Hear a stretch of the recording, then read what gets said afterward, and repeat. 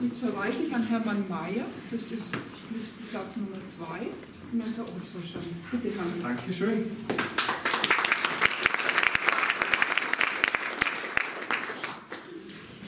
Ich sage auch noch mal Servus benannt. Ähm, ich kann nur Bayerisch oder Englisch, Hochdeutsch kann ich. Ich hoffe, das versteht jetzt jeder. Ich übersetze einmal, ich schaffe das. Ich hoffe, ich habe jetzt auch nicht so eine laute Stimme wie du, glaube ich. Ich hoffe, ihr versteht es. Ähm, für die, die mich noch nicht kennen, also Hermann Mayer, ich bin geboren in Ebersberg, aufgewachsen in Kirchseeon, äh, in Schulganger in Grafing und jetzt wohne ich in Grafing Bahnhof, also richtig weit gekommen bin ich nicht. Ich habe da in München studiert und ich habe in England studiert und das war wirklich so eine ganz entscheidende Zeit in meinem Leben. Also ich war doch mal draußen und habe außerhalb von Bayern gesehen, was wir in Bayern eigentlich wirklich Schönes haben. Und ich habe da noch meine Frau kennengelernt in England. Wow,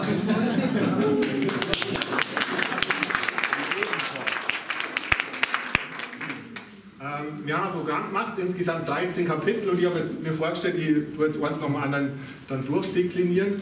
Ähm, wir haben ja Zeit, oder? Ich habe viel Zeit. Das mache ich natürlich nicht. Ich habe mir drei, für mich drei wichtige, es gibt keine wichtigsten, aber drei wichtige äh, Kapitel rausgekommen, wo ich gerne ein bisschen mehr dazu sagen. Äh, und den Rest können wir dann klären. Wir haben ja noch ganz lange Zeit bis zum 15. März. Also die drei wichtigsten Kapitel aus meiner Sicht, Angelika hat schon gesagt, Energie und Klima. Ähm, das, das zweite, günstig wohnen. Und das dritte, innovativ wirtschaften. Die drei Sachen, zu denen ich sage jetzt ein bisschen was. Ähm, der Landkreis Ebersberg und auch die Stadt Grafing haben sich als Ziel gegeben, bis 2030 frei von fossilen Energieträgern zu sein.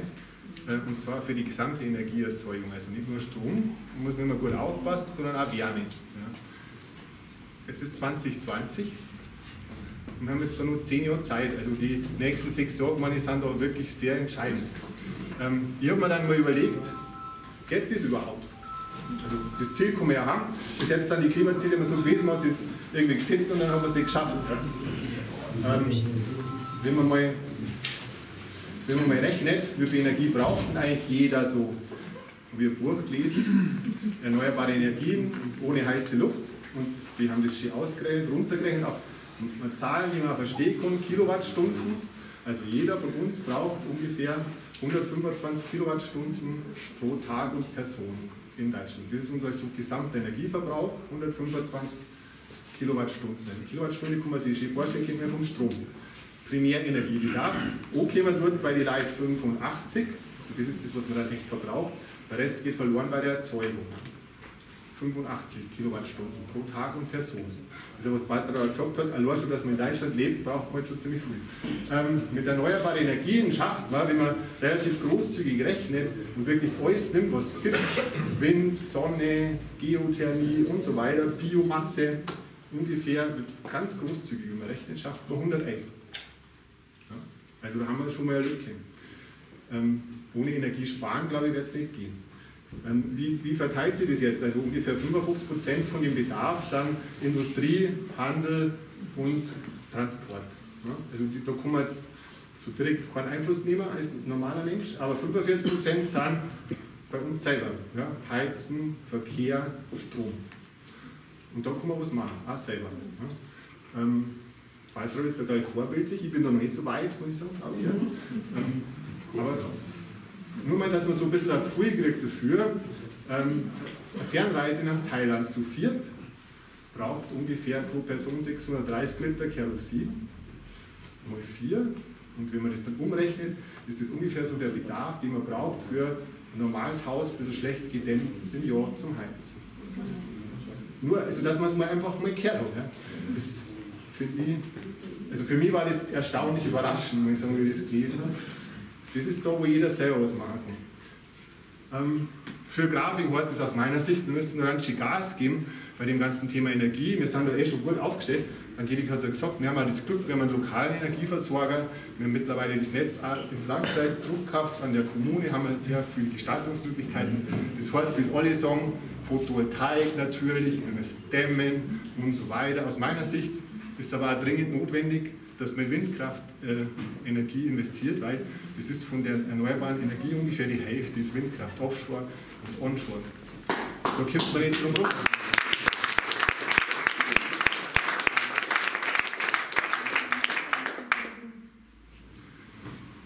Genau. Und jetzt soll man das ganz schöne Überleitung einfallen lassen. Die habe ich jetzt vergessen.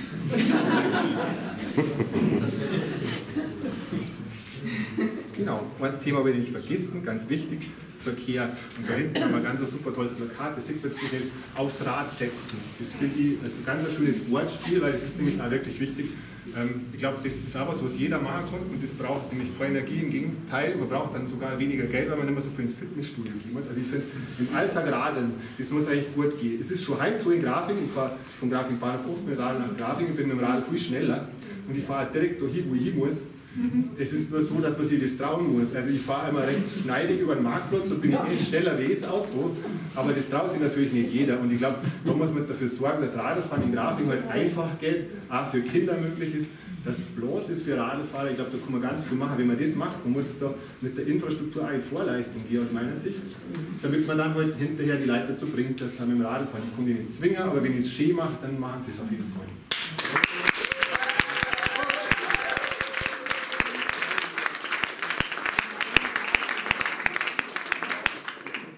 Kleines Bonbon am Rande, ich weiß wie ich da draufgekommen bin. Ich glaube, ich weiß schon, die Stellplatzverordnung. Da habe ich mich mal geärgert, weil wir da immer so viel drüber diskutieren im Stadtrat wegen Stellplätze. ist immer das wichtigste Thema, immer für Autos. Wo kommt das eigentlich her? Ich weiß nicht, ob es jemand weiß. Ähm, das ist aus der Nazi-Zeit von 1939, die Stellplatzverordnung. Da haben die Nazis nämlich äh, die Infrastruktur vorbereitet für die Stadt, autogerechte Stadt. Damals hat dann jeder schon eine Garage bauen müssen für die Kraft durch Freudewagen, obwohl es die ja gar nicht gegeben hat, weil es da der Kübelwagen daraus produziert hat. Aber die haben damals schon angefangen, dann Garagen zu bauen, ähm, weil die da die Infrastruktur vorbereiten wollten fürs Auto. Nur so am Rande. Sind wir beim Bauen-Thema eigentlich dadurch. Wohnen, günstig Wohnraum. Und Angelika auch schon angesprochen. Ähm, Habe ich selber erlebt. Ich wohne jetzt seit 2005 in einem Doppelhaus. Damals war der der Richter, Bodenrichtwert in Grafikbahnhof 480 Euro, also das war 2005. Und jetzt, aktuell, 2019, ist er 1100 Euro. Das ist eine Steigerung von 250 Prozent in der Zeit, wo ich jetzt dort bin. Wenn man mal schaut, wie ist denn das längerfristig, ich weiß nicht, ob jemand das Buch gelesen hat, ich habe es gelesen von Hans-Jochen Vogel, Mehr Gerechtigkeit, Bodenpreis in München, Steigerung von 1950 bis 2017.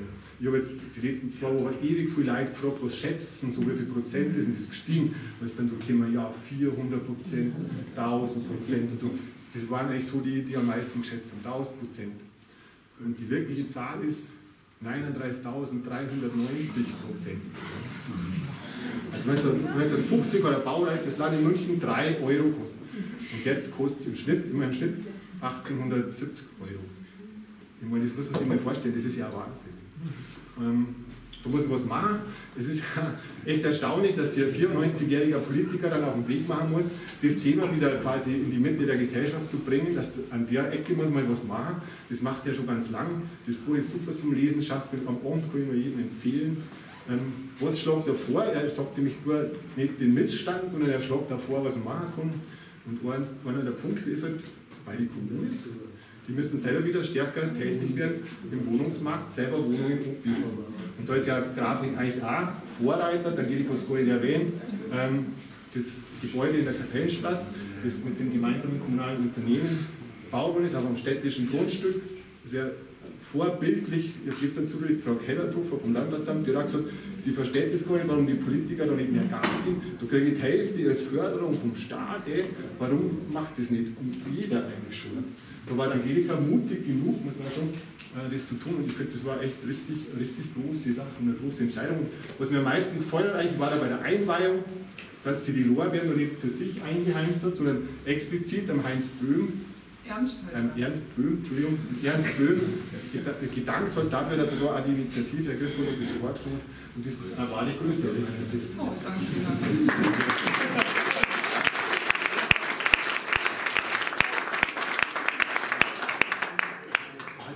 Ecke muss man noch mehr aus meiner Sicht. Die städtischen Liegenschaften, da hat Angelika so auf der Bürgerversammlung schon zugegeben, da ist man nicht so wichtig dazu gekommen, dass man da mehr draus macht. Gibt es ja etliche, man ja durchaus was draus machen. Ich glaube, man muss aber noch mehr tun. Man muss die strategischen Grundstücke suchen in Grafik, wo die Stadt auch wirklich mal Vorkaufsrecht ausübt, damit halt nicht immer irgendwelche Bauträger den Reibach machen, sondern dass man wirklich die Grundstücke für die Allgemeinheit sichert. Weil ich zahle keine Zinsen zurzeit. Wenn ich so ein Grundstück einfach nur kaufen und liegen lassen darf, dann dann ich als Kommune den ganzen Gewinn mitnehme, den halt, halt jemand anders einsteckt. Ja? Und ich, ich verstehe nicht, warum man da nicht mehr macht. Ich werde es vielleicht kennenlernen, aber es nicht gesagt.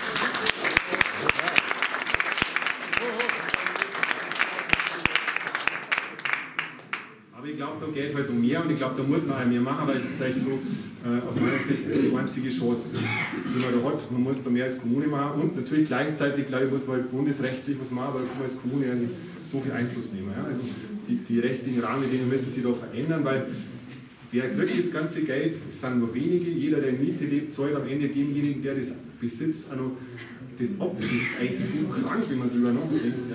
Und ähm, das habe ich vorhin vergessen, in den 50er Jahren war es so, da war der Anteil vom Grundstückspreis, wenn man was baut ungefähr so 1,2, also unter 2 Prozent.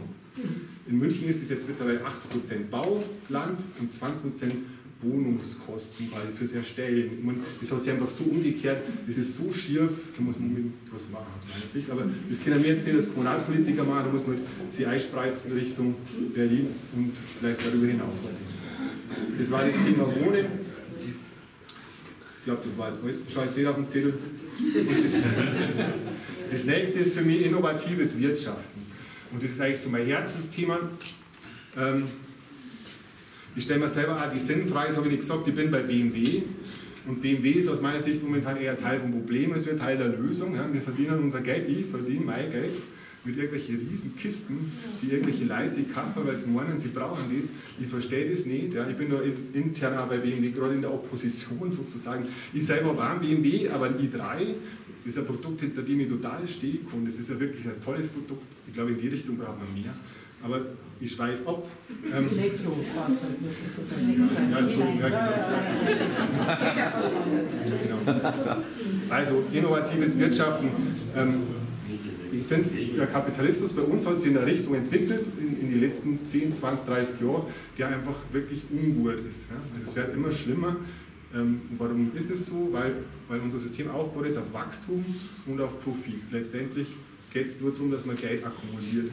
Und ich glaube, es geht auch anders. Und mir ist das aufgefallen, auch wieder auf dem Neujahrsempfang der Stadt Grafing, wo zwei ähm, Leute geehrt worden sind.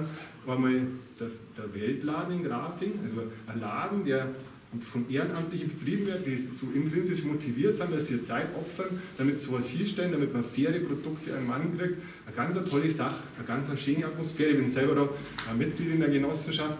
Es funktioniert offensichtlich auch, obwohl die Leute da kein Geld verdienen, ja, weil sie da denken, sie machen da was richtig. Ja, das ist vorbildlich, das ist das eine. Das andere ist das Grafiker Kino.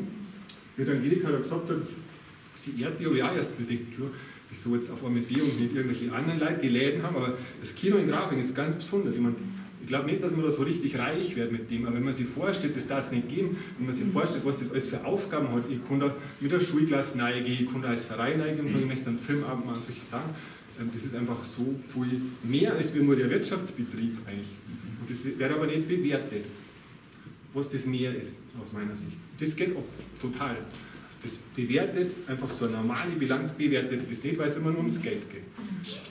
Und ich finde, das muss man ändern und da gibt es jemanden, der sich da ganz viel Gedanken gemacht hat, der Michael Felber, Gemeinwohlökonomie. Ähm, das war jetzt auch Christian Felber. Ich habe mein Ziel in der Hosentasche. Gott sei Dank sind es schlaue Leute. Also Herr Felber, Vorsicht, hat 2010 ein Buch geschrieben zum Thema Gemeinwohlökonomie und das ist ein System, ein marktwirtschaftliches System, das halt die ganzen anderen Aspekte neben finanziellem Erfolg mehr in Fokus rückt. Solidarität, Ressourcenverbrauch und so weiter. Ähm, ich glaube, das ist der richtige Weg. Die Grünen haben in Bielefeld in die Richtung A äh, in ihrem äh, Programm, in ihrem Wirtschaftsprogramm die Schluss gefasst, dass man das nach vorn stellen muss. Ähm, das Kino in Grafing, der Weltladen sind nur die Beispiele dafür. Es gibt ähm, Firmen, die schon so zertifiziert sind, die die ganzen Aspekte betrachten. Es gibt Gemeinden, die schon so zertifiziert sind. Ähm, die Gemeinde Kirchheim-Schöring in, äh, in der Nähe vom Waginger See ist Gemeinwohl zertifiziert. Der Bürgermeister ist von der CSU und ein sehr cooler Typ. Ich habe den kennenlernen dürfen letztes Jahr im März, hat er das vorgestellt, so bin ich auf die Gemeinwohlökonomie aufmerksam geworden, weil es gibt irgendwie noch nicht so viele Leute, die das kennen. Ja? Aber in die Richtung muss es gehen aus meiner Sicht, da muss man mehr machen, da kann man auch mehr machen. Grafing ist ja da auch schon auf dem Weg. Fair Trade Town ist so ein Aspekt aus meiner Sicht, das gehört da alles mit dazu. Gibt es halt mehr, muss man organisierter machen. Ich glaube, das kann man umgehen, das ist wichtig. Ähm, was da ganz wichtig ist in der Gemeinwohlökonomie, ist auch nicht Konkurrenz, sondern eher Kooperation. Ne? Und Kooperation ist jetzt für mich die Überleitung zum, wir funktionieren nur als Team richtig gut, also wir müssen zusammenarbeiten, so wie im Stadtrat über die Fraktionen hinweg, das hat Angelika schon gesagt. Aber Angelika und ich stehen ja da alle da Lohr.